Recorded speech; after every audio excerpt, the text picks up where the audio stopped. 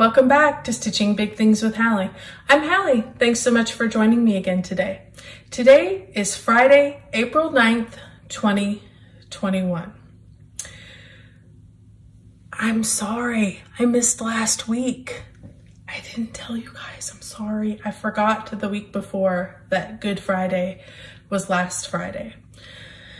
I hope you all had a wonderful Easter holiday and Easter season. Um, we did. We had a wonderful time.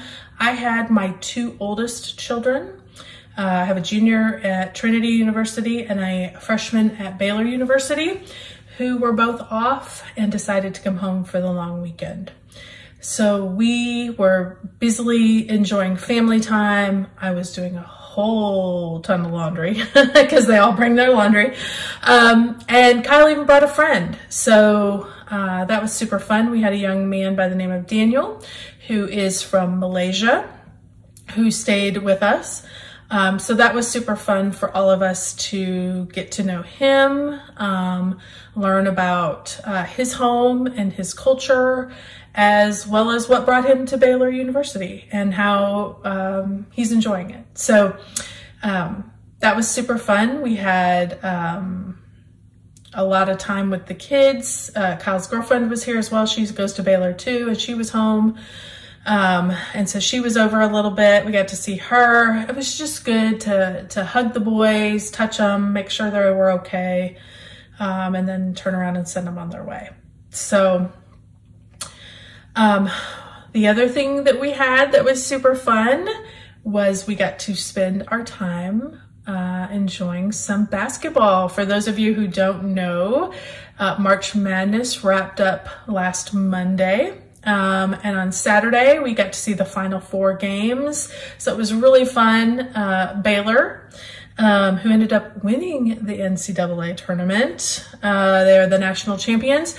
That's where my kids go. Uh, well, Kyle, my freshman, and Daniel and Hannah, that's where they go to school. And so it was super fun having them here and getting to watch the Final Four game.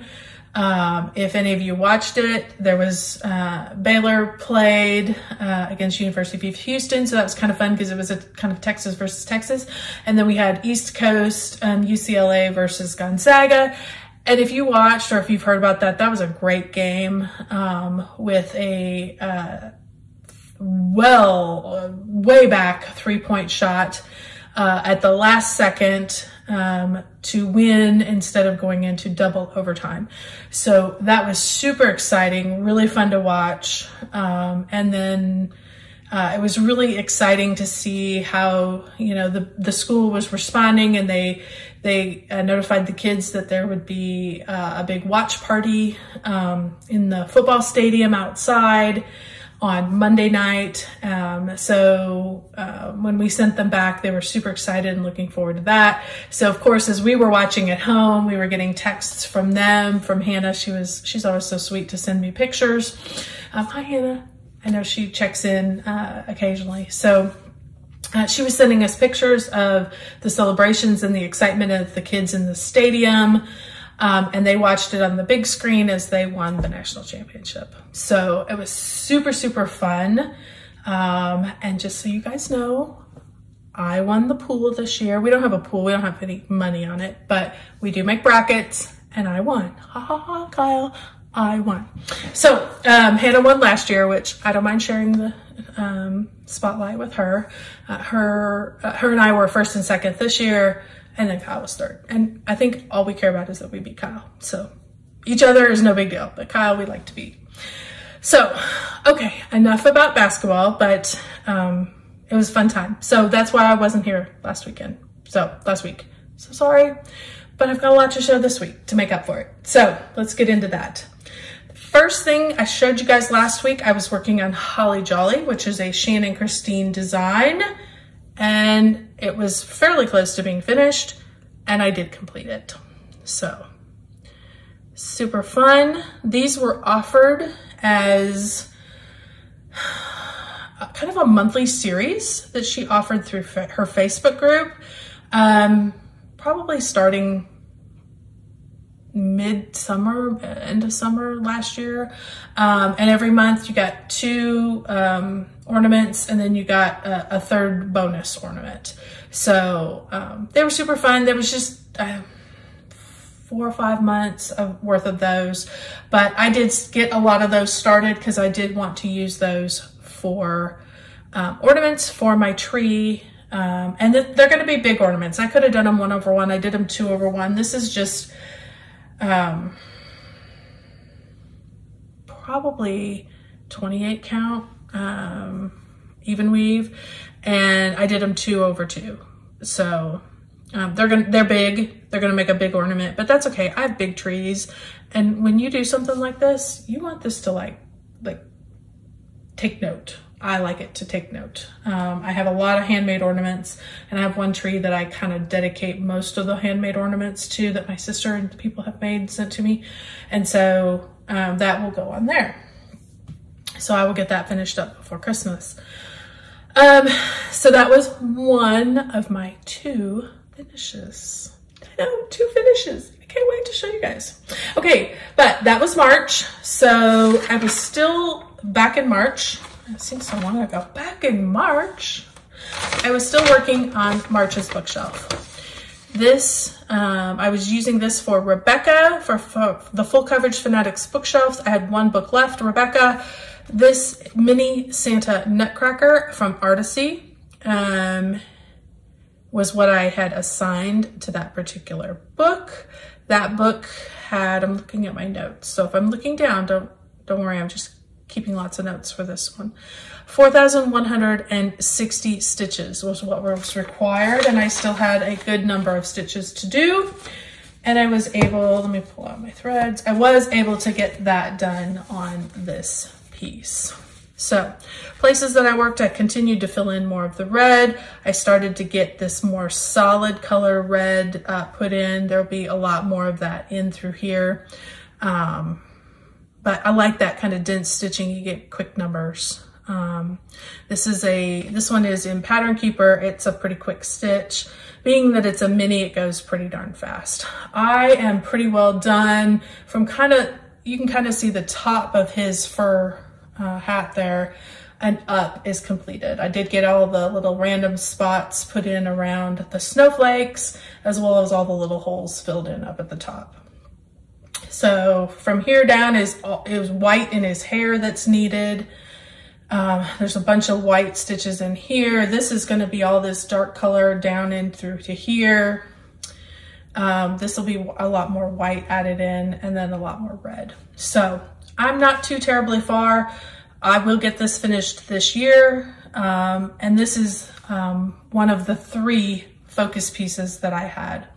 I did complete Bird of Paradise, probably January, of January, early February, somewhere around there. That was one of my focus pieces. It was a non-full coverage, but it was a focus piece. Um, Mistletoe, which you'll see in a minute, was a focus piece and this one were focus pieces for me this year to complete. This is stitched on, I think it's 20 count, 18 count, 18 count easy grid fabric, two over two.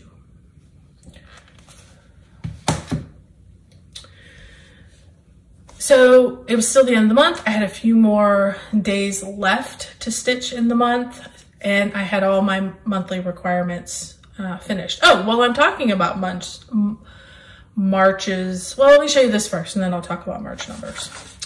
What was I wanted to stitch on after that? This was what called to me. Firework Lane by Little Stitch Girl. Here is where I am. Now, if you look at this, you might be a bit confused because you can see I don't have the houses in the right place or order. I have switched I have switched the blue and the white. I wanted red, white, and blue. So that's, I still have the red one to do. It'll be over here. I have not gotten that far yet. So I started with the white because I knew I wanted that one in the middle. I have not filled in um, his accent color nor his door. Uh, it was supposed to be white, but if you look at here, I mean, it's white. I'm like, surely we could get something that I think I might do this blue might be the accent color, maybe with a red door. I don't know. I will get to that. And I haven't finished this door either. But last time I had the, the house in, I did finish the white accent this time. Got the fence in, the dog in, the uh, beautiful flag in, as well as the fireworks. I do have some silver fireworks that will be Petite Treasure Braid. Those will probably go in last. Uh, but next time when I come, I'll finish working on the grass, and we'll probably go ahead and start the red and then figure out door colors, accent colors, and then get my Petite Treasure braid added in. So this one is looking at a finish fairly quickly as well. So this one is stitched on 32 count. It was a blue that I had in my stash, um, but I think it's lovely. I think it works really well. So two over two um, on that. The majority not all of them, but a good number of these are uh, Classic Colorworks um, variegated flosses. So that was fun to work on after all of that full coverage. So for those of you who care about March numbers, I have learned to love them now that I have been keeping numbers for this is my second year of keeping track of my daily stitches and, and monthly stitches and kind of, you know, looking for trends and things like that. So full coverage stitches, I had 16,747 full coverage stitches in the month of March. I had 6,206 non-full coverage stitches in the month of March. And that gives me 22,953 uh, stitches for the month of March. For the month of March. That is my highest number so far this year. I think I had about 19,000 in January. February was low, 15,000. I, I uh, there were some days I didn't stitch in February, but March, I think maybe I had one day that I didn't stitch. So uh, it was it was a pretty good stitching month. So pretty good numbers um, for that. So that wrapped up March. Uh, April started, so the full coverage fanatics bookshelves started again. I had more of those that I could work on, and I could also continue to work on the 21 and 21. But I also had another thing that came up. At the end of April, uh, which I will talk about more after it happens, I have had the opportunity to attend a cross-stitching retreat. I'm super excited. I, um, I think they have a good plan to keep us all safe. I've been fully vaccinated. Um, and so I'm excited to go. Um, so as part of the retreats uh, events, they are going to do a smalls exchange.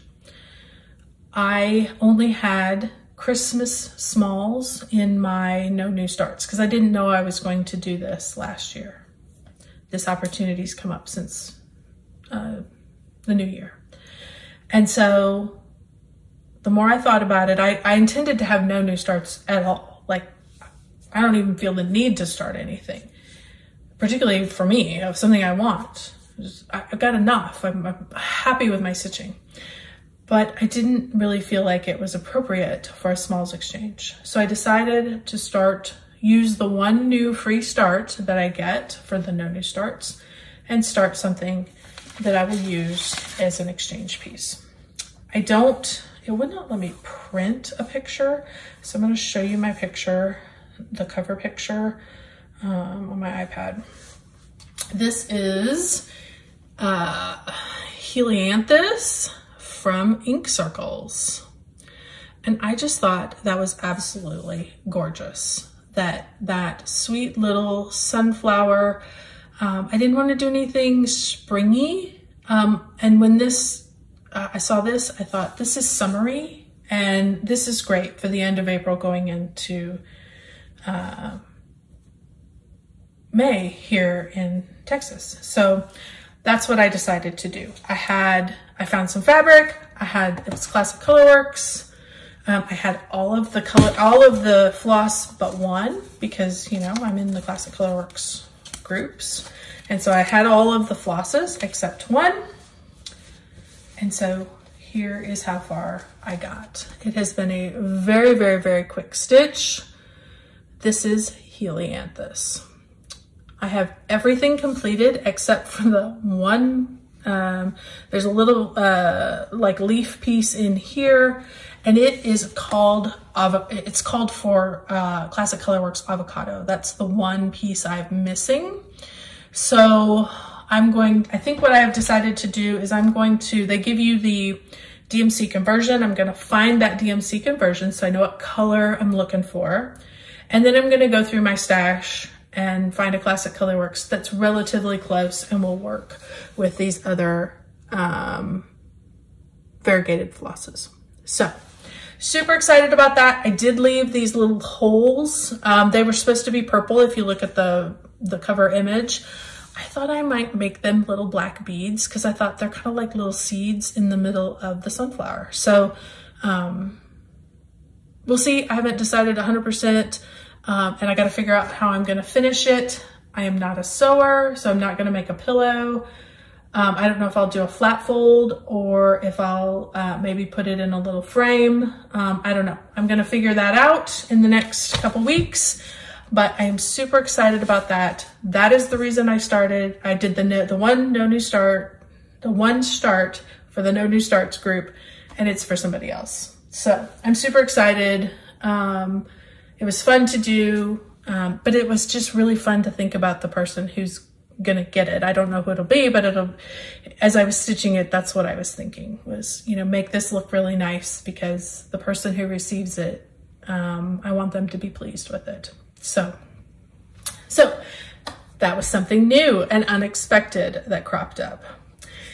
Then, because it was April, I, April's, I told you the, the uh, Full Coverage Fanatics Bookshelf Challenge kicked off again.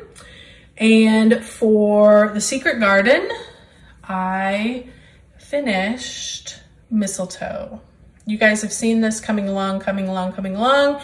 And if you happened to follow me on Instagram, you would have seen that I finished this on the 6th. So I love it. Uh, this is stitched on, I think it's a 20 count. I want to say 20 count, 28 count, 20 count, I think. 18 count, 20 count, something like that. Two over two. Um, it's good size. Um, you could definitely do this one over one and make it much smaller um, if you wanted to, but I liked it big. Um, I wanted to use it to decorate for Christmas. Um, so I was super happy with the way that came out. This is just a mushroom fabric that I had in my stash um, that I wanted to use up and I thought it was really pretty. Uh, I thought it would be pretty as I stitched along that those colors would go well with that mushroom color. So super happy with the way this came out and we will get that taken care of. Uh, that I was not able to finish the secret garden um, with how many I had left. I think I had 298 stitches left um, when I finished that project. So I quick grabbed Cookie Fairy and added in um, those 298, it's almost 300 stitches. You, you can hardly see, I filled in this block some more with some more, um, there were some grays that it called for. So this is my 21 and 21 my 21,000 in 2021 piece that I'm using. Um, so I will continue to add more stitches. Just so you guys know, I have kind of tried different approaches for this particular project. Um, currently, I am working in this strip right here, trying to get completion before I move over to the next strip. Um, when I was up here, I did parking and changing my my thread one, one, one, you know, every time you made a stitch, you changing, you were changing your needle and your thread. And I went all the way to the other side. I'm like, okay, I want as big as I can get. And I want to be able to like work a lot of colors. So then I went that way. and then I'm like, okay, I need to, you know, this is fine, but it takes forever to see any progression. So I'm like, let's work, let's focus in a smaller area. I don't need to park. I can just color complete in that small area. So that's what I'm working on. So you will con continue to see this as it progresses throughout the year. So that's all the stitching that I had. Um, quite a lot for two weeks. Um, it's it's been a been a good good week, good couple weeks. I did get a couple things in the mail, so I'll show you these real quick if you've stuck with us this far. Hang in there, guys. We're almost done. Uh, you guys know I get this Floss Frenzy that it comes from the Fat Quarter Shop. There are two, two that I receive. I get the Weeks Dye Works and the Classic Color Works. This one happens to be the Weeks Dye Works. Let me hold it so you can see exactly the color names that are in this group. This one is called Clover Green. They kind of give it a little name. This one's Clover Green. Let me try and stretch these out so you can get a good look. I'm not gonna go through them individually. But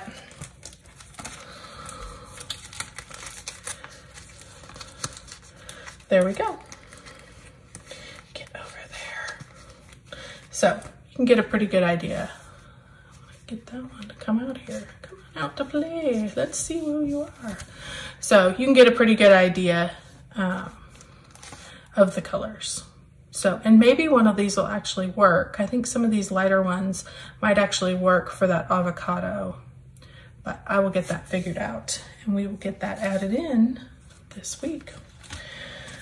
So there's that. I do know Fat Quarter Shop, at least last time I looked, was still offering those. I think they do have a couple other floss clubs, maybe even some silk. So uh, if you're interested in floss clubs at all, I do know they are still uh, potentially taking signups. So go to their website and you can get their information. You guys know I love Garon Toten bags. This is my April bag of the month. It came right before Easter and it could not be any sweeter. Look at those bunnies. Look at the bird, all those daisies, and those sweet, sweet Easter eggs. I just love this one. Love, love, love this one. So uh, super nice. I get the 12 by 18 size that holds all of my big projects. Um, you know, this, this, I don't know what, 11 by 17 maybe. Um, you can stick this down in there along with the flosses. So uh, that's why I like the little bigger bags. Inside on this particular one is sweet Easter eggs. So that is super nice. Um, so I appreciate that one. So I know they are still on a wait list. If you want to do the bag of the month, they have a 12 by 13 and a 12 by 18.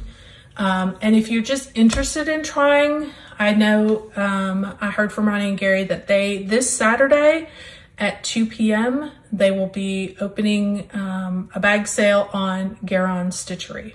So they do that once a month. They uh, make up a bunch of different bags with a bunch of different themes and you can go on their website and um, purchase one of their bags. I know on Friday they open it up. I don't know what time on Friday, so that's today.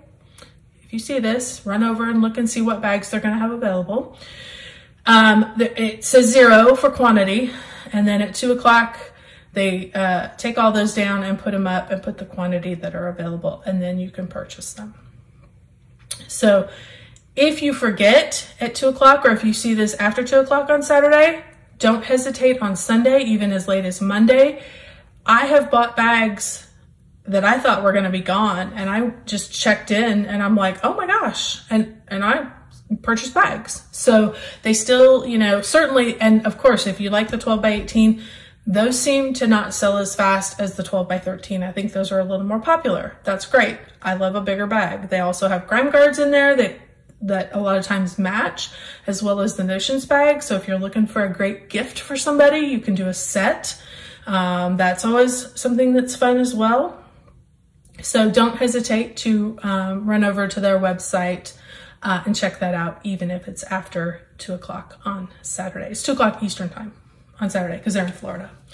So, um, okay, I think that pretty well does it for me this week. Plans for next week, of course, I've got two more um, books in the Full Coverage Fanatic bookshelf.